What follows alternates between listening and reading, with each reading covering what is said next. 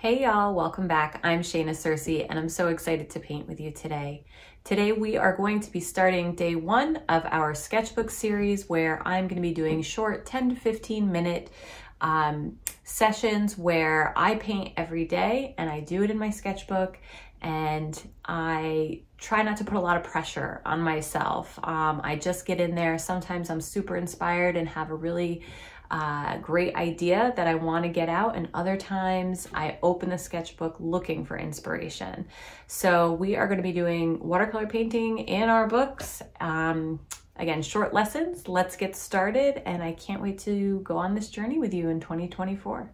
I have a sketchbook here that I started in 2022 that I never finished, and I am going to work to finish it quickly um, this year by just getting into it every day, and then I'll start a new one. Um, so for 2024, instead of setting really big, lofty goals and resolutions, there's a lot of talk about getting, you know, starting the year strong and setting these big um, goals and resolutions that you're going to stick to, whether it's health and wellness and fitness and diet or um, your creative journey, and I'm going to paint a masterpiece every day. Um, that's just, we're going to start slow. We're just going to paint for 15 minutes every day in our sketchbook. And of course, I'll be working on other things um, throughout the rest of my day, but this is how I like to start my day. So, before anyone gets up in my house, I'm going to make sure to get in here and I'll just show you what's in this book already. I started it while I was in London and uh, so you can see a little Big Ben painting there, um, and lots of different architecture, um, bridges and domes and cathedrals and archways and statues, all kinds of stuff in here. Um, lots of clock towers in London, lots of them. This was across from my hotel. Um, and landscapes, and then I started putting a few other random things in here that I had I don't even know why or when. Uh, but we are going to start by just filling up more pages. I hope to use front and back of all of these as well. So maybe I'll start over here today. all right, so we're going to start here on this page and fill this one up. I'm just going to take, I have another extra piece of blank paper. I'm just going to put this over here to protect what's going on over here. And again, you don't have to paint something super complicated or um, a finished piece every time. Sometimes you can just paint swatches, and maybe we'll do that sometimes. So today I am going to, um, I think I'm going to start with just a nice sunrise. So I just have my pencil here. My my supplies pretty much every day are going to be this sketchbook, my core paints, which I'm going to use whatever I feel like at the time, and one or two brushes. So nothing super complicated, not bringing in any other fancy ones. Oh my gosh, my palette is like stuck shut. That shows you how much I've been painting recently. It's been a crazy beginning of the year, and I am now ready to ease into it. Okay, so this morning when I got up, before I started to paint, I took the dog out and uh, we went into the backyard and saw a beautiful sunrise. So, we're going to paint a sunrise today, or I am, and I'm just going to use some really soft colors. So, some really, really muted, or not muted, but um, diluted soft colors. So, let me get my palette, let me get better set up here, and then we'll get started. All right, I think that's a better setup. So you can see everything. You can see I have my morning coffee over here. The goal is to try not to drink the paint water and not to dip the watercolor brush in the coffee. So I've put them on opposite sides. Now, what I usually do, I usually don't have an open cup of coffee um, by my paint setup. I if I'm drinking coffee or anything else, I put it in a travel mug. That's my trick. After one too many times of dipping my brush in a perfectly good cup of coffee and ruining it, um, how many of you have all, how many of you all have done that before? I'm sure many of you. I have only drank, I'm pretty sure, only actually sipped my paint water once and it wasn't even like a full sip. It was like to the lips and then uh, I realized I was like, "Oh my gosh."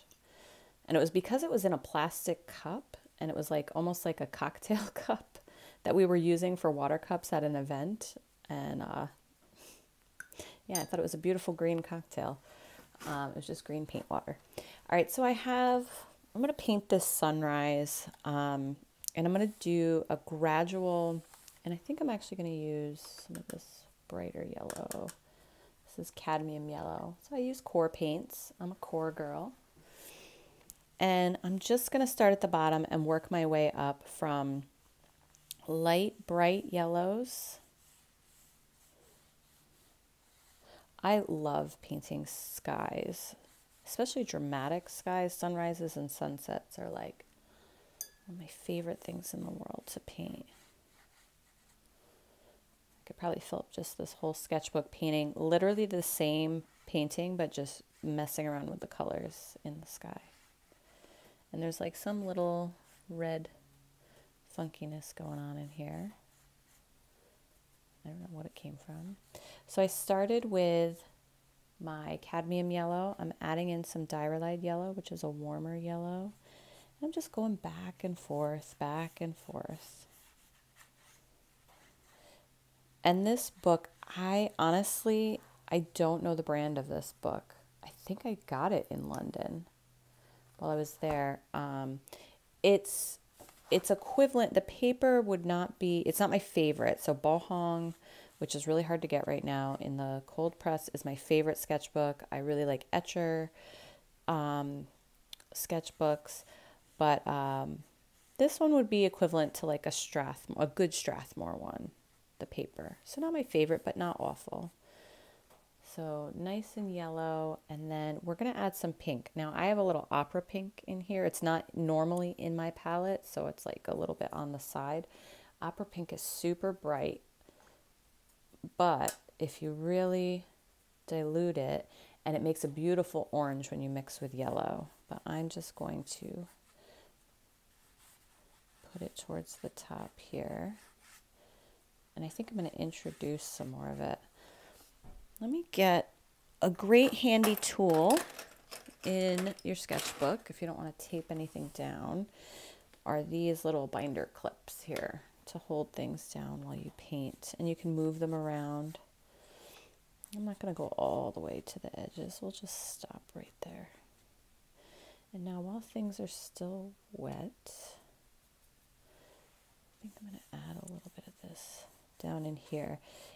And look at this beautiful kind of orange this makes. I love opera. I feel like the opera pink really um, preserves the brightness of an orange for a sky when you mix it with your yellows rather than getting too muddy if you mix like a quin. I, it's not that I don't use those in skies, I definitely do. Um, but I feel like it's easier to get muddier with quin or rose than opera pink in a sky when you're trying to get oranges. So I'm just kind of messing around with this, waiting till the moment where it's too dry for me to mess with anymore before it gets weird. Beautiful. So I'm going to let that dry and kind of work on the ground line here. I'm just going to do a simple green and I'm going to put a tree line in. It's always satisfying to do a silhouette in front of a sky. Let's, um, here, I'm going to take some, what is this? This is raw sienna. And I'm just going to take this raw sienna. I'm going to kind of give myself a bit of a winding path.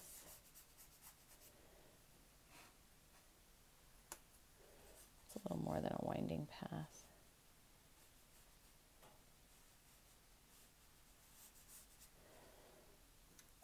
From the back to the front.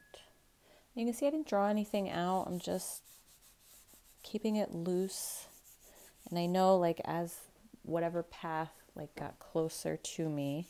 This is almost looks more like a a bank, like a, a little creek or a stream than a path because I made the edges really jagged instead of kind of smooth. But it gets really wide the closer it gets to the viewer.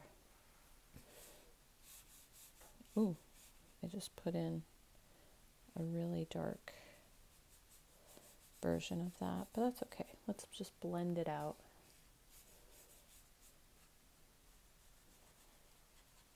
Blend, blend, blend all the way to the back. And then I'm just going to add green around it. I'm going to let this side be kind of rough. Yeah, that looks good.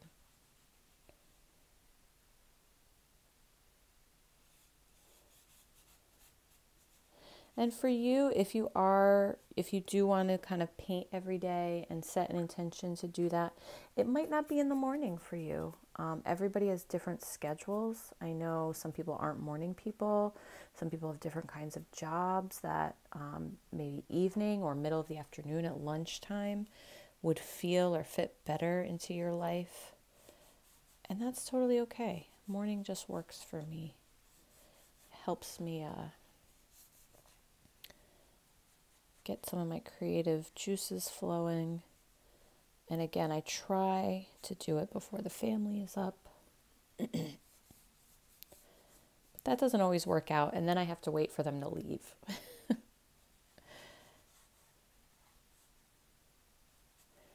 and just enjoy my time with them in the morning as they kind of get ready for their day and get out the door to school and jobs. Very nice. I'm going to leave lots of white space in this, I think. Yeah. I could always go back and add more details. I'm going to make, um, pick up some more green and some more black, and I'm just going to make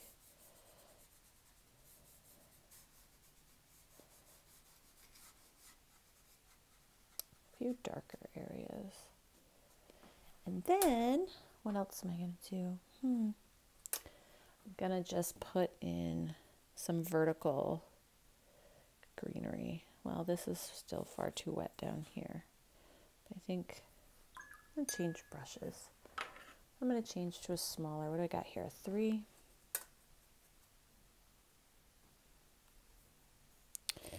And I do, I'm trying to go slower. I know that might not be, you know, as exciting for the video, but just to show you that you don't have to paint fast. You can kind of think about things before you do them.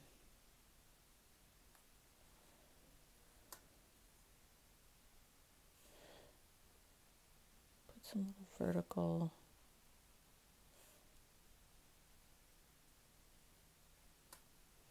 put on some music. Oh, I love painting with music on. In my headphones is best, actually, when I paint. I love it. It cancels everything else out, and you kind of just get in your own world. Podcast and books sometimes, but when I'm really feeling creative, I love music. What about y'all? Do you listen to something? Do you watch TV? Do you listen to music? Podcasts? I would love to know what other people kind of do. Do you need silence? Do you just do you have a baby monitor on and you're just hoping the little one doesn't wake up? Do you have a pet companion with you? Tell me in the comments. What's your best kind of favorite painting setup? And what are your companions with you while you paint? All right, I'm going to leave that and now we're going to work on, or I'm going to work on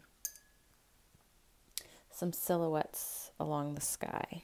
Now, the way I painted this, this um, horizon line is really far back, so my trees aren't going to be that tall, but I could always paint something this is where you can play to pick up some Payne's Gray and throw it in this green and just make it mostly Payne's Gray. But you could play. So I'm going to put some, this is wet, so I'm going to try not to get my hand in it. I'm going to put some in the background. And this is where, actually, I'm going to pick up, da, da, da. I said I was going to keep it simple with the brushes, but, and I am, I'm just going to pick up my smallest brush if I can find it in here. I have a rigger. I was going to use my size 1 liner. I've really come to enjoy this brush. This is my size 2. All right, so we'll just use, so you can see I have two. I have a liner and then a script liner, and they're slightly different. This one is slightly longer than this one. I like the liners from Princeton. They seem they just have a little bit more control. They're still very thin and you can get very thin lines. But when you want to have a little bit more stability or control while you're painting something tiny, I really like these.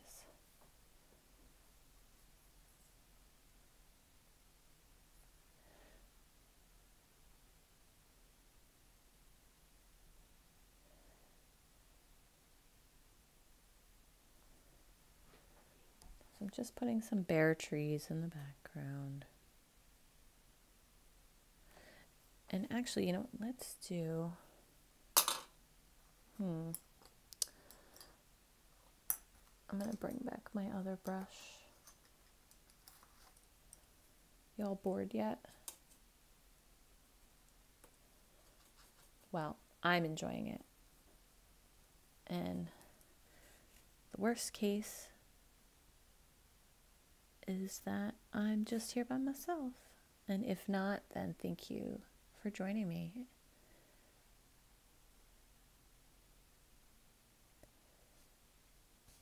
I'm just going to add in like a mountain range kind of in the background.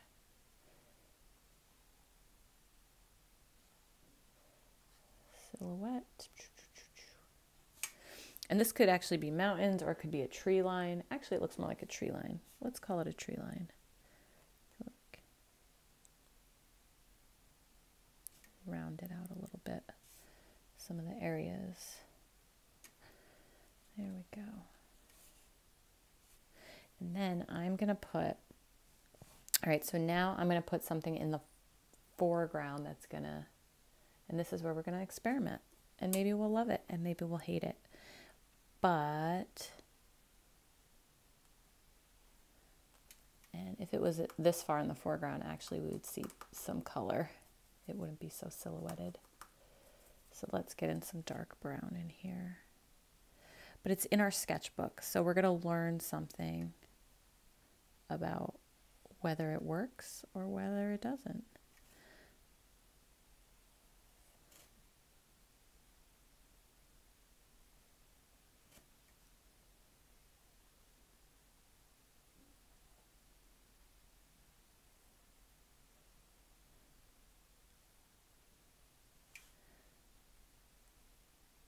trees can be so fascinating and fun to paint. Very meditative. Just remember, everything starts thicker and gets thinner as it goes towards the top and build branches off your branches, off your branches. And I should probably change my brush again to get some really thin additions. Yeah, I think this was a good addition to this.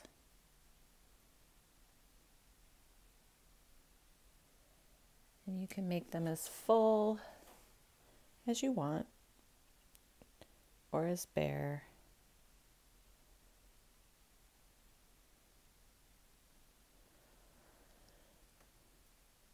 All right, and you could add, you know, let's add another one and then we'll be done. And then I'll feel like very satisfied with this soft uh, sunrise painting, bringing us into the new year. I'm going to put one like right up here towards the front.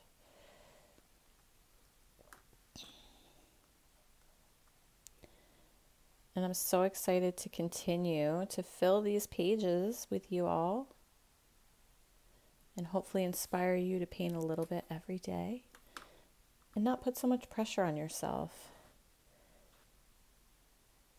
Let's have a smooth and soft takeoff this year. No need.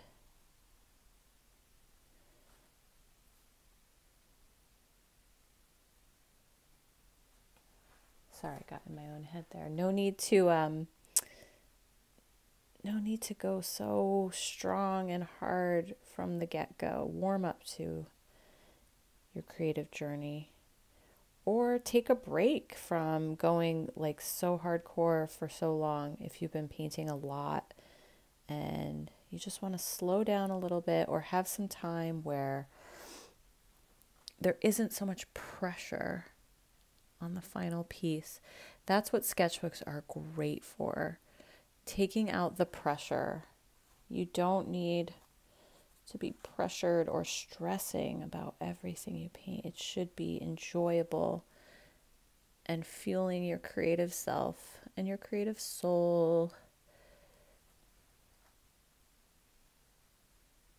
Still big water droplet there. That's all right.